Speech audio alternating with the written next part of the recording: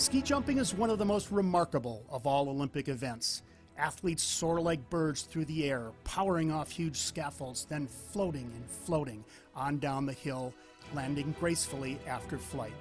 Today, USA Nordic takes you behind the gold with world champion Sarah Hendrickson. This Friday, the FIS Ski Jumping channel on YouTube will feature Sarah as a part of its Live Classics series, replaying her historic win and hill record in the Predazzo World Cup in January 2012.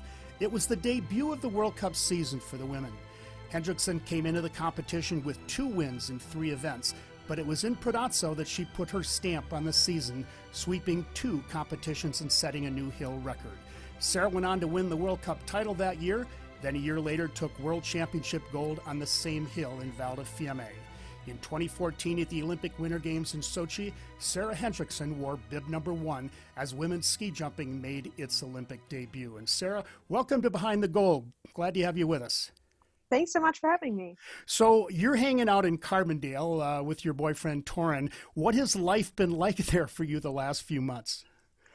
yeah. Um. So I've been uh, going to some community college classes um, right here in in Colorado, and um, yeah, obviously with the virus, it's definitely a little bit of a life change, but um, just been sticking to my studies, and luckily we live in the beautiful mountains, so we can get outside and hike and bike and um, we were still skiing like when when things started to shut down in march so um, i feel very fortunate that we have the great outdoors to kind of keep us distracted but um, now now the weather's getting warmer and just kind of seeing where where everything plays out cool given that you're kind of in the outdoors in the mountains of colorado has have you been able to keep up on the type of training that you like to do this time of year um, so it's a little bit different for me. I'd say I had a back surgery in December, so I've kind of just been rehabbing. And um, with my rehab, it's pretty much a lot of just body weight stuff, some core, and some basic um, athletic stuff. So really, I haven't needed a gym. I can do everything at home and outside. So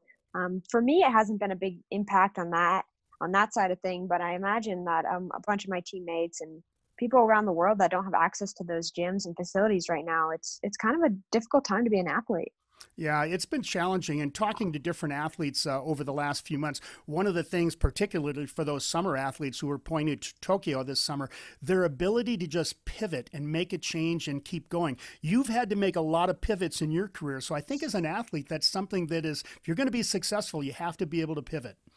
Yeah, absolutely. I mean, my heart goes out to those um, 2020 Olympians that were, um, you know, at their peak and ready to go. You you plan not not for even four years, but your entire lifetime for for these moments, and to get this th- curveball thrown at you um, is is quite difficult. But um, like you said, as an athlete, you kind of learn to adapt and. Um, through injuries or whatever it is, uh, you just have to be able to kind of fight through it and kind of reformulate your plan and keep going forward. Yeah, so we're going to uh, uh, talk in a little bit uh, uh, about your background, but just to uh, preview for everyone, uh, on YouTube this Friday, uh, FIS Ski Jumping is going to be rerunning your 2012 victory in Predazzo, Italy. And we're going to talk a lot about that and some of your other uh, successes uh, in the, in this interview. But just to give the uh, uh the viewers and the listeners a little bit of an idea of your background uh, growing up in Park City, how did you first get into ski jumping? Uh, that at that time, it was really a pretty new sport for the women. Yeah, absolutely. I mean, when I was a kid, I I grew up in Park City. My brother and I were on alpine skis by the age of two and three, and um, I was really kind of motivated by him. He has started ski jumping through an after school program um, a couple years before me. And then also the 2002 Olympics um, was a huge motivator for me to try the sport of ski jumping. Um, they did an excellent job in Park City, kind of bringing kids out and trying the different Olympic sports that we got to view in those 2002 Olympics. And between that and my brother, um, it seemed like kind of a good time to try it and i really fell in love with it. It was really the only organized um, snow sport that i have had ever done. I never did alpine skiing i never did freestyle skiing. Um, i played soccer but um, you know i always skied with my parents on the weekend and we got the honor roll pass because it was you know quite affordable but when i started ski jumping it was just um, i had so much fun. It was such a great community and um, I just fell in love with it and um, obviously grew with it for a lot of years. You know, even though women's ski jumping is still in its infancy, you really are kind of a second generation. And who are some of those early heroes that you looked up to in the sport? Absolutely, yeah. I mean, really in the 90s, like people like Lindsey Van, Anette Sagen um, from Norway, um, some Germans were the ones that were really not taking no for an answer. And then in the early 2000s, of course, my teammates like um, Jessica Jerome, Lindsey Still, um, Alissa Johnson, Abby, Abby Hughes, now Abby Ringquist, you know, they were really at the forefront, and I was able to join them, um, even though I was quite a bit younger than them, um, for those Continental Cups that started to become more frequent. And then, of course, when we got World Championships and World Cup circuits, um, we were the power team. You know, reminiscing back and looking at some old results, I think you were just 13 years old when you first went over to Germany for the Continental Cup. What was that experience like? I mean, you, what were you were just in middle school still? yeah, um, it was. You know, I was pretty young, but um, I had a really, really close relationship with Lindsey Van, and she was kind of like my older sister, and so like she had a good relationship with with my mom, and so I think my mom just felt comfortable sending me over. I went by myself, obviously with the team, with the coaches, and um, it was for those Continental Cups and also my first World Juniors in in Poland. Uh, my mom did actually go and watch that, and that was just the start. I mean, that was the first year I went over for you know once a winter, and then from then on it was twice a winter, three times a winter until um, those World Cup season, World Championships, when we were just spending the whole time over there. So it's pretty crazy to think that a 13 year old was traveling to Europe, you know, with with just teammates and a coach. But um, I think that's um, I grew up pretty quickly. You know, 13 and going to the Continental Cup is one thing, but a year later, in February of 2009, you actually won a Continental Cup in Europe, and this is the top level in the world. You beat your childhood heroes, and you're just 14 years old yeah, I mean, to be honest, it was kind of a it was an interesting event. It was definitely weather dependent, um, and you know, I was jumping well, but I um, I I wouldn't say it was one of those normal, totally totally fair events. But nonetheless, it was a, a great kind of motivation and a taste of that winning that I I wanted to be the best in the world, and that just um, kind of propelled me to train harder and work with my team and um, be the athlete that I wanted to to become for the later years. It was just a few weeks after that that your teammate Lindsey Van won the very first World Championship gold. Do you remember where you were in watching that event and what your reaction was that watching your hero win that gold medal? Yeah, I was actually competing in Liberec as well. Um, I was kind of a late add-on to that team. There was, I remember there being some um, disagreements with adding me to the team because I was so young, and I don't blame them looking back now. But um, it was yeah me, Lindsey Van, Jessica Jerome, and Alissa Johnson in 2009, first ever World Championships, and it was just snowing so incredibly hard, and the conditions were so tough, and I really struggled. It's a very difficult hill. But um, yeah, I remember watching Lindsey in that final jump, and obviously coming down to win, and holding the American flag up, and it was yeah, it was definitely uh, a memorable experience you were a part of a wave uh, that saw a lot of evolution. Uh, in your career, you've seen the start of the World Cup, you've seen the Olympics, uh, you've seen the World Championships. Uh, going into that 2011 2012 season, that was the first year for the World Cup. Uh, you had finished sixth, I think, uh, in the Continental Cup prior to that, the season standings. But what were your thoughts going into that first World Cup event in Lillehammer in December of 2011?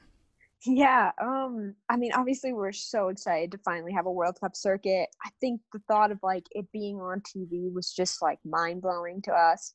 Um, but you know, I still just had this passion I just wanted to ski jump. I was never thinking about results. I was never thinking about, I don't know, the competitiveness that it would bring. It was always just a pleasure to be traveling around the world with um, my team that was we we had a lot of difficulties but we were so close knit and so um, good at working together and bouncing off each other because we had such different personalities um, that it just worked out so well. And so that first world cup i think i didn't really have any expectations. I was just jumping because i love to jump. We had had a great training year going into it, on and off the hill, and it was just kind of like, well, here we go, a, new era, and it was a, a privilege to be a part of it. Yeah, you and and for those who may not recall, you actually won that first Cup uh, World Cup uh, in Lillehammer, uh, picking up the debut win. You picked up another win uh, uh, in January, and then you came into Predazzo. And do you do you recall kind of the, the, the feeling? I mean, you were obviously at the top of the World Cup at that point, uh, very competitive field. You were young; you were just 17 years old at that point, coming into the hometown of your coach uh, Paolo Bernardi. Uh, what were your thoughts going into Predazzo that weekend in January of 2012? Well, it definitely was kind of our second home.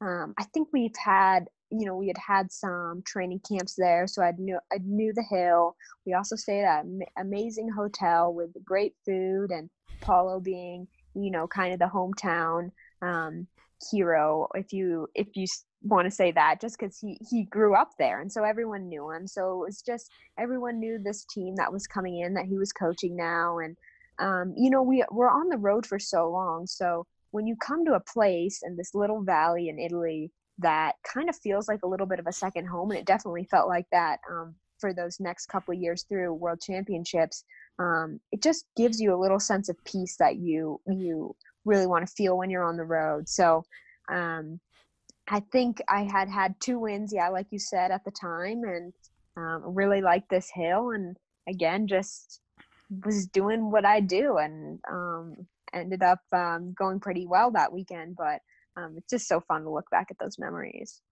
So, to uh, set the stage, and we'll be able to watch this on uh, Classics Live on YouTube uh, beginning this Friday. Uh, so, it was the first day of a two day event, Saturday and Sunday. Uh, in the first round, uh, Daniela Iraschko took the lead with a jump of 107 meters. You went 105. Do you have a recollection of your thoughts between rounds there?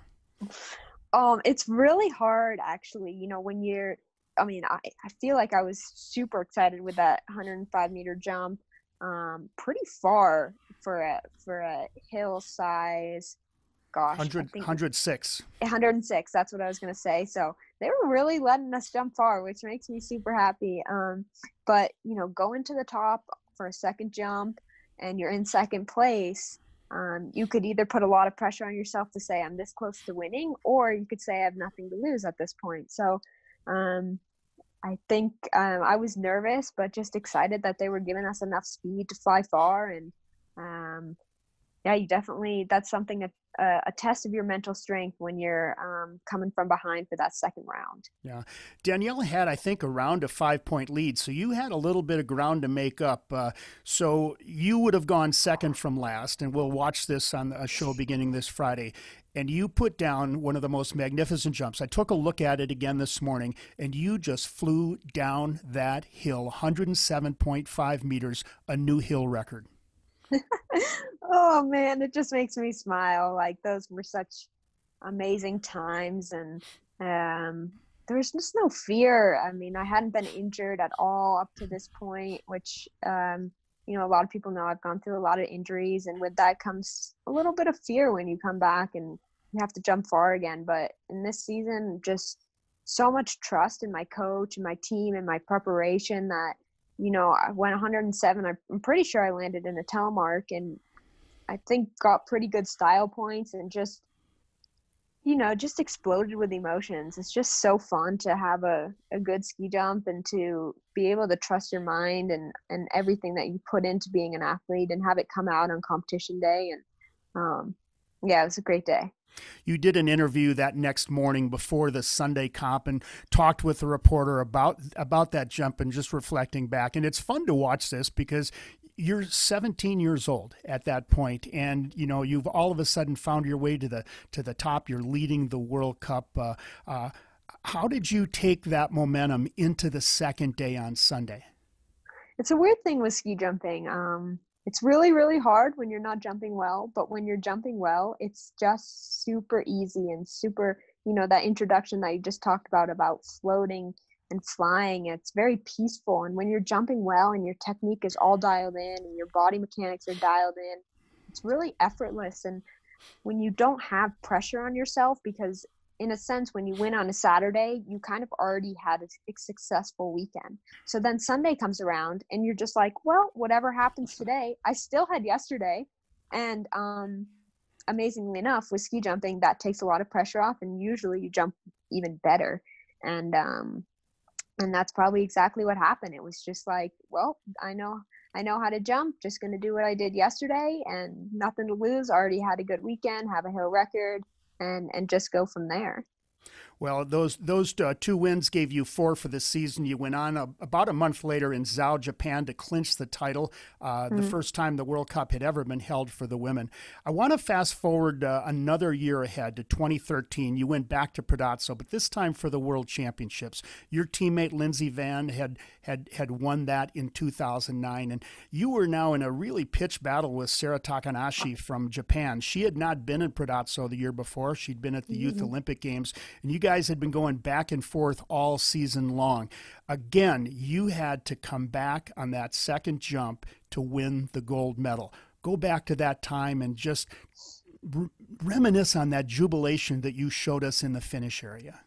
Yeah. Oh man, World Championships 2013. Um, hands down, my my proudest moment of my ski jumping career. If I'm going to be completely honest, and this definitely I remember the nerves, and I remember standing at the top, knowing that Sara and I were neck and neck, I think maybe a couple points between each other and just, you know, had to lay it down. I mean, there was no room for a 96 meter jump if you wanted to win. And I remember, you know, we, we tie our boots super tight. You have to get them the mm-hmm. perfect tightness. And I remember putting my skis on, you know, bindings checked, everything ready to go. And like, I kind of lost feeling of my feet because my boots were maybe too tight.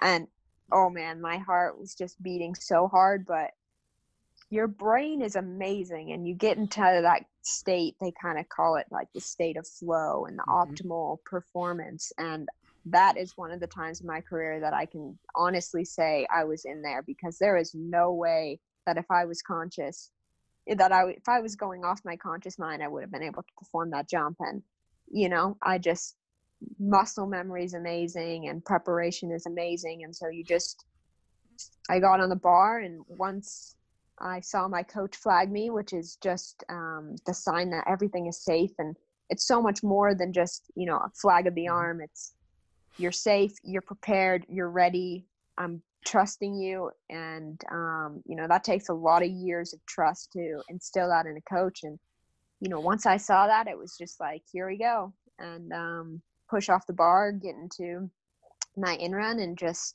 and just let let that flow state take over. And um, that day, I was able to perform, and oh, it was it was amazing. It was, um, and my teammates were all at the the finish line and hugging me, and it was just um, a, a, moment that I will never forget because I got to share it with those people. And ski jumping is an individual sport, of course, but those five girls, or us four, five, including me, I mean, we were just such a power team. And like I said, we had our struggles, but man, did they put aside all their own results on that day and run out and hug me and hold me above their shoulders um, like like it was their own victory and that is truly truly amazing in a world of sport. You know i the, that next summer you had a training injury and i don't want to delve into that but i want to take you out to sochi. Your battle to get to sochi was long and hard. What was your emotion in wearing that number one bib and becoming the first woman to compete in the olympics in ski jumping? It's actually funny because um, since I've had I had such a winning season going into those Olympics, but I hadn't competed in any of the World Cups. Um, I was unranked in the World Cup rankings, and that's where I got bib number one. And I remember our coach handing it to me, and I held it up, and I was like, "Oh no, bib number one! I don't know how to I don't know how to time it, you know, because I had been used to going at the, mm-hmm. the end of the round. I know exactly when I need to tie my boots. I know exactly when I need to go get my skis for my wax tech. But all of a sudden, I was like, bib number one, like, how many forerunners are they going to be? Like, what time does this thing even mm-hmm. start? And Lindsey looked at me and she said, Sarah, you're number one. You're going to be the first girl to ever ski jump in the Olympics. And I was like, oh my gosh. Okay, that's pretty cool. And I put it on Twitter, I think like after the first training day, like I'm bib number one. I'll be the first female to ever ski jump in the Olympics. And I got like it was like twenty thousand retweets. I mean, it was just exploded. And um, you know, it was hard because I was world champion going into that. I had won a World Cup Globe, and um, I recovered in five months from an injury that should have taken, gosh, ten or twelve months. And I wasn't in great shape mentally or physically in terms of trusting my knee, I would say. And it was really a grind to get there. Um, and so it was a little bit frustrating to not be at the top of the game and definitely had to give up that goal that I was going to be a medal contender because I couldn't put that pressure on me and walk away disappointed because I knew it was just unrealistic. So that was definitely a hard pill to swallow. But um, I remember standing at the top um, maybe before the second round and looking around like our little warming hub of all these girls. There was 30 girls from around the world, and thinking, you know, we weren't really competing against each other, but we had all competed to be here mm-hmm. against the International Olympic Committee, against all the people that had told the women no for so long, and that that is also a memory that I'll never forget. And sharing that with some amazing women from around the world. Sarah, we've missed you on the jumps, but over the last few years, I know you've been following the sport. Uh, what do you see in some of the young athletes coming up today? Oh man, on terms of the in terms of the international level, women's ski jumping has just um, exploded. The level of competition is rising and rising every single year. Um, some tremendous ski jumpers from around the world. Um, I mean, I think in terms of the World Junior Championships, there were 61 girls from 15, 16 nations this year, which is just a tremendous number. And so I'm not concerned at all about the future of our sport, and it's catching up with the men quite quickly in terms of numbers, and that's super exciting.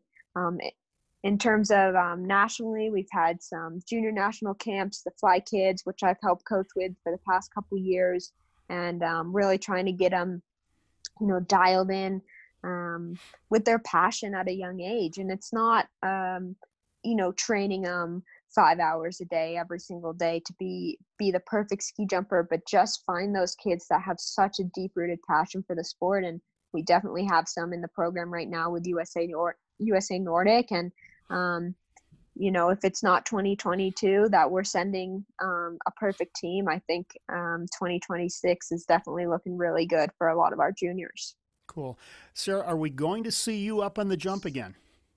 So, um, I, as I mentioned before, I did have to have a back surgery in December. I was coming back last year, intended on competing this last season, but um, I figured out that my extreme back pain was actually real and needed to have a surgery. So I've just been recovering from that. And of course, with coronavirus, we don't really know exactly what's going to happen with some of these Grand Prix this summer. And you know, hopefully nothing gets affected this winter in terms of competition, but we don't really know. So my honest answer to that is um, just kind of waiting it out. And um, I'm rehabbing and you know staying active. I've always been a very active person, so um, we'll see where my back takes me in terms of pain, and and kind of decide that later in the year when things start to turn on again.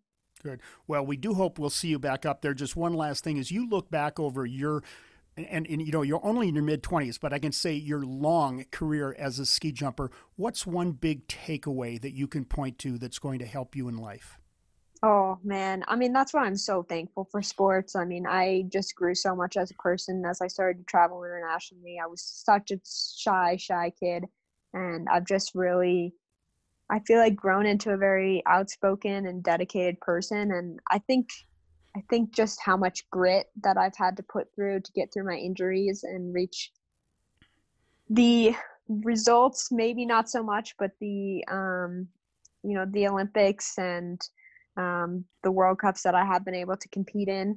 Um, sometimes I look back and the results are not what I have always hoped for, but I've worked so hard, and that dedication and grit will take me so much farther in life and in whatever I decide to do um, when I do decide to retire. So I'm very thankful for those opportunities. Grit is an amazing thing. yes, it really is. Sarah, thanks for joining us. Absolutely. Thank you. Sarah Hendrickson, it's been great to reminisce with you. And don't forget to check out the FIS Ski Jumping channel on YouTube this Friday for a Classics Live re air of Sarah's historic victory and hill record in Predazzo in January of 2012. Thanks for joining us on this Behind the Gold interview for USA Nordic. I'm Tom Kelly, and I hope to see you at the jumps very soon.